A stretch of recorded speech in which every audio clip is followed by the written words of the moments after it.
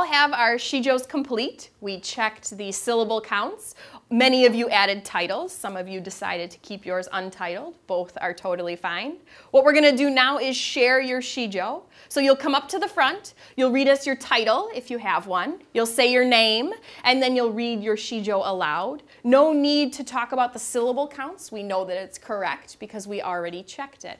Uh, then once the person is done reading, we'll tell them we appreciate them, give them a little applause, and then we'll take maybe two or three comments. Uh, what did you like? What did you notice? What did you think of the twist? Before moving on to the next person. Questions? All right, Patrick, you ready to start us off with a bang? Yeah. All right. This poem is called Death Day by me, Patrick McCurry.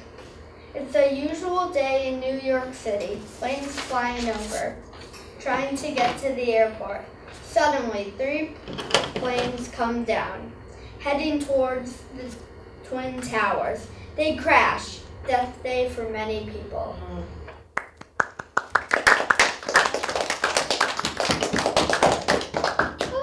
What, what kind of feedback do we have for Patrick? Yeah, go for it. I like how you shared something in the past. Very good. Yeah, he, he drew inspiration from his story from something that really happened on 9 11. Justin, what else? Um, can I tell about the twist? Yes. Okay, so twist was, um, it was like a normal day, just, uh, planes were normal, but suddenly they started reacting, going the opposite they were in crash. Yeah, very good. And one more comment, Ina? Um, I liked how it was like all peaceful in the beginning and it was kind of like a shocking twist. And also, I have a question. Wasn't it two planes? Um, no, I believe I people don't exactly know because no one filmed it, no one expected it to happen. I believe I read in a book it was three planes. And what did you say in your story, in that first line? I said it's a usual day in New York, planes flying over. Perfect, right? And that allows you that flexibility. You don't have to be exact because you just said plural planes. And then the I just predicted three planes. Very Because good. that's what I read. Uh-huh. That's what I've heard from my teachers and Right, and if you were going to keep working on this Sijo outside of this workshop, that might be something that you would look up and double check your facts. Awesome. Thank you so much, Patrick. Great job.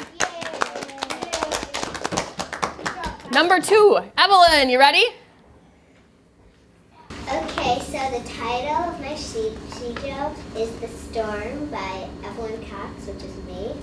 So, a boy and a girl are walking in the city. A big storm comes. They duck under an overhang and look at the restaurant. They find money and eat magical food. Then their dad comes. Aww.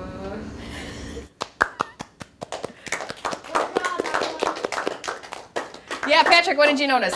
I really liked how you use the word magical to describe the food. It could be used in two different ways, like really magical Mhm. or just the food tastes magical. And when you were hearing her read it, what did you think? Which use?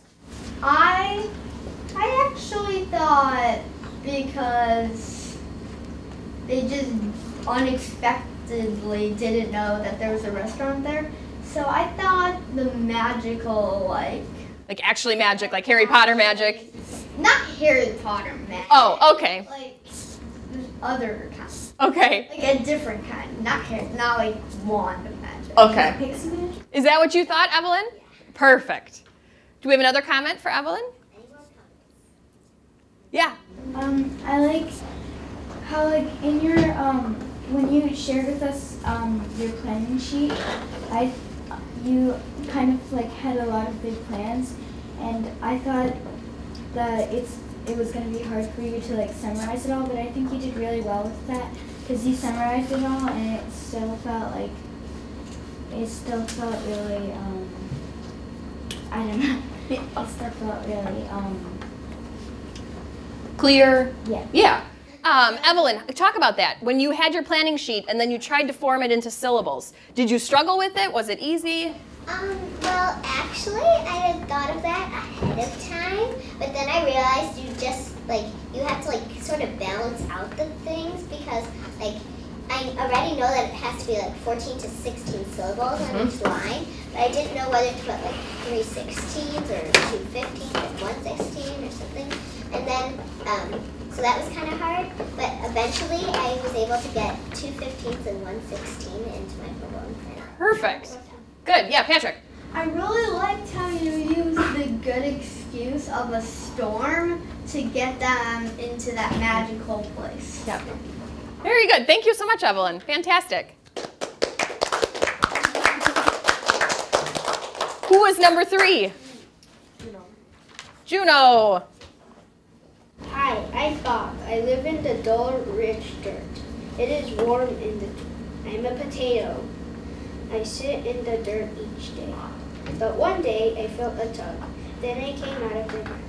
That's it. Juno, did your poem have a title? Yeah. What was it? Potato. Okay, perfect. Evelyn, what'd you think? Uh, I really liked his twist because it's like he's like describing the potato just sitting in the warm, cool dirt, and then like and then like something like grabs him out of the dirt, and it's like ah. Yeah, what else, Leela? Um, I like how like um, it's kind of simple, but it's also really um, it it feels a bit magical, like at points, except it's also really simple and realistic.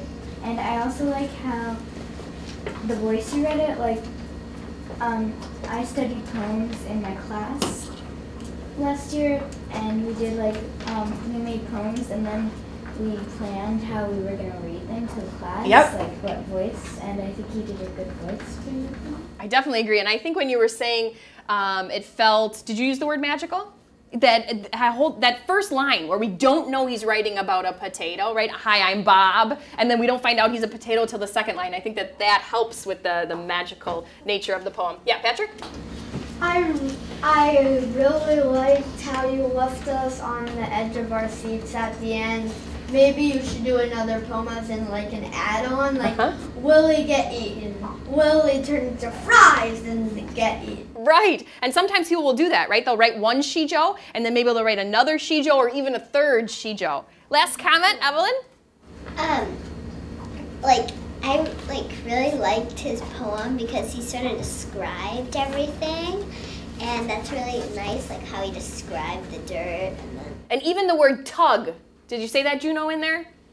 Yeah, right? That's a really nice descriptive verb that we can see. Thank you, Juno, for sharing. Ina, are you up next? I've that I've met an ocelot what crawls through the rainforest, all golden brown and small, which blends with the colorful leaves at fall. One day, my parents announced, let's go to rainforest.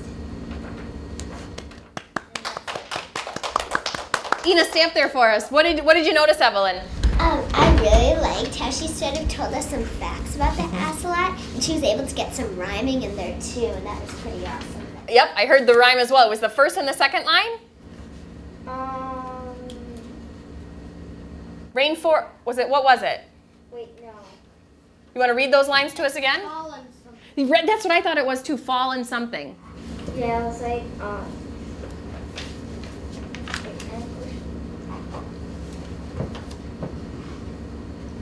Read it out loud to us. We'll help you. Oh, um, I rhyme small and fall. Small and fall. There we go.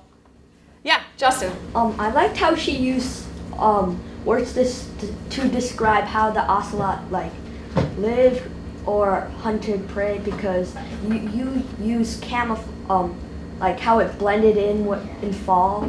I like Yeah, I because I couldn't fit all the information in. I thought that we pretty well figured it out. Yeah, and we talked about how people might not know where the ocelot lived, and I liked how you added that in the first line so that we knew it was the rainforest. Leela? Um, I think you did also what Patch said about Juno's poem. You kind of left us on the edge of our chairs, which, um, and it's like you could write an epilogue, another Sijo poem about it. So I think that's cool. Yeah, last comment, Evelyn? Um, so I like that your twist, that like you're suddenly going to a rainforest to meet the ocelots. Yes. After you're like daydreaming about the ocelots and how you really want to meet one, and then you start, and then you're about to go. That's good. Definitely unexpected. Yeah. Very good, Ina. Thank you for sharing. All right, who is next? Do we know? Danny? Sounds good to me. Okay, you changed your mind. Okay, let's hear your title, your name, and your sijo. Hi, my name is Danny. I wrote this sheet. There once was a person. He was totally swag, wearing sunglasses. Person likes skateboarding. He was really good, really brave too. Person got eaten by Pac-Man who come, came out of nowhere.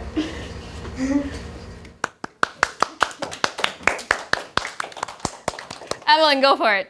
Um, I like your twist. like it's really surprising. Like it's just like skateboarding, and then the Batman comes out and eats him. And Batman. I also like how you described that he was uh, swag, which means cool, by wearing like sunglasses and stuff. That's pretty. And in your planning sheet, what was the point of your poem? What did you say you wanted to do? To person to be swag. Didn't you say you wanted to shock us? Yeah. Yeah, and you did it, right? That's the first thing that Evelyn said was it was shocking, which is exactly what you wanted. Patrick? Um, I'm uh, again like um Evelyn said. I really like how he was just skateboarding on just a hot day or something, and then all of a sudden he's just there, and then Pac-Man came down. and also I like how you used a lot of describing words. You said he was brave, swag, mm-hmm. and you used some objects, skateboards, Sunglasses. Yeah. what I found very. Definitely. Lilo, last comment? Um, again, like Eunice poem, I like how you read it. Cause like um, I also like how you read the title. Like, um, it's hello. I I can't exactly remember, but you like introduced yourself with the title like that, and I like how you said. Um, there's a guy who's totally swag, and like you read it like um, nothing was happening, but a lot of stuff was happening. Right. Awesome. Thank you so much, Danny. Nice job. Justin, you're next. Okay. So potato season by me, Justin Park. Okay. So one day, old lady was selling potatoes for money. Old lady was selling Philly Bob Joe's brothers and sisters. Potato, potato that he could poop French fries to shape it like him and live. Okay.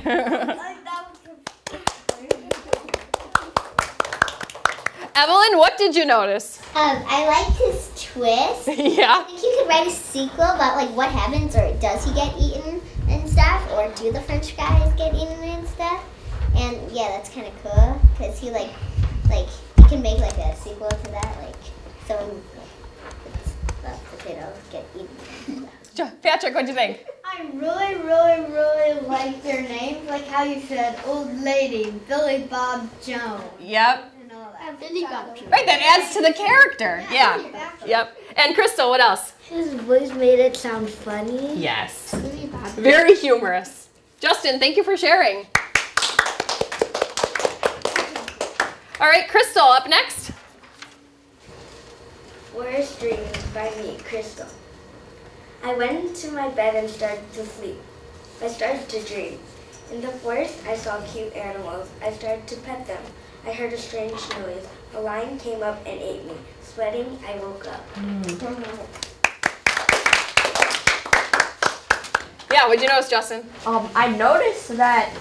So you were happy petting those animals, but since you didn't see the lion, you were, you just, Died. it, you just died out of nowhere, petting those cute animals. Well, she didn't die. You didn't, right? Yeah, she did. She, Wait, I was dreaming you were dreaming. Yes, she was dreaming. Yes, there we go. Patrick, what'd you notice? I really liked how, like, what Justin said. Like, it was all so calm. You were petting the cute animals, and all of a sudden, a lion just comes out of nowhere and then realizes it's a dream. Wake up. Right. So almost two things are surprising there: the animal that comes and the dream. Um, I, also liked like um what um I liked what they said and I also like like she said she woke up sweating, not that she just woke up. Right. Like she said she woke she described how she felt when she was waking Exactly. It gives us some emotion. Yeah. Last comment, Leela? Um, just like what Pasha said, it, like, well, I think you kind of had two twists. One at the beginning, one at um, the end, because you started with that you go into a dream, and that's kind of surprising. Um, and then, because you know, some people who are doing it about dreams might just start in their dream, but you actually started going into the dream. And then when the lion ate you and you woke up sweating, then I think that was also surprising. Definitely. Thank you, Crystal, for sharing. We have two more. Did you want to go next so you're not last? All right. Three more. My uh, name is Zach, and my s- story is unnamed. Your Sijo's untitled. Yep. The, the elephant is in Egypt in the president's house. The military captures him and brings him to the army. The elephant explodes and destroys the whole army. Yeah, Patrick, what'd you notice? I really liked how you it was the elephant was in the president's office and the military suggested that it might be a bomb or something, but they were kind of like not stupid, just like Dumb. And so didn't know what they're small brain. Sure, sure. Small brain to take it in because then why would they take it out? Right. And then it just exploded. Yep. And good verbs too. Capture, explode, lots of action. Evelyn?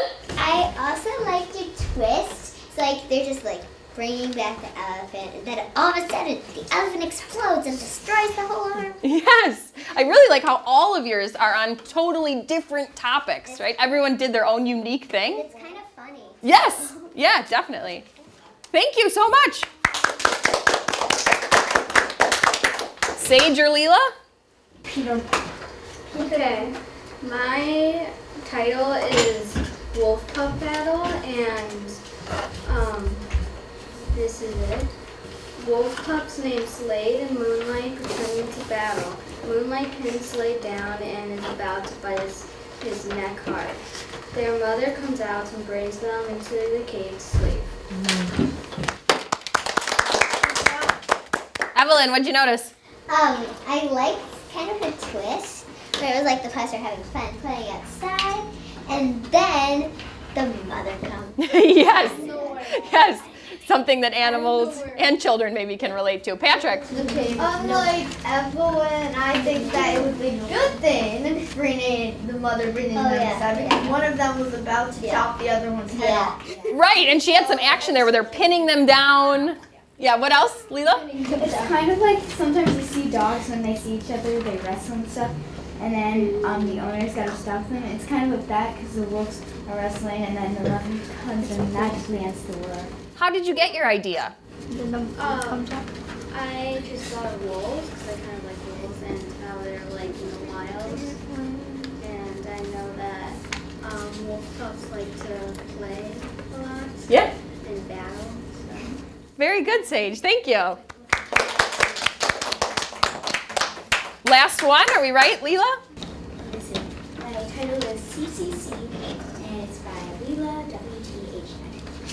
In London from 14, from 14s to 16s, there was sickness and sneezing. But Detective Carrot was on the case and solved it with quick pace. The cupcake was behind it, arrested by Cookie. Juno, what did you notice? I liked how you um did uh some rhyming. Yeah, definitely the rhyme, and we could feel the beat or the pattern of the words. Crystal? It was like not about like people. It was like about food. Like the food was talking. Right, she personified the cupcake and the cookie. And what was the third one?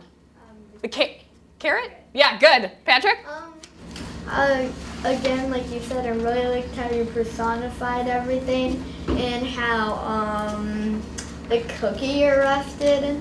Like, I, I immediately when you said that, I was just thinking, oh my gosh, Captain Cookie. yeah, Justin. like it's like this is different.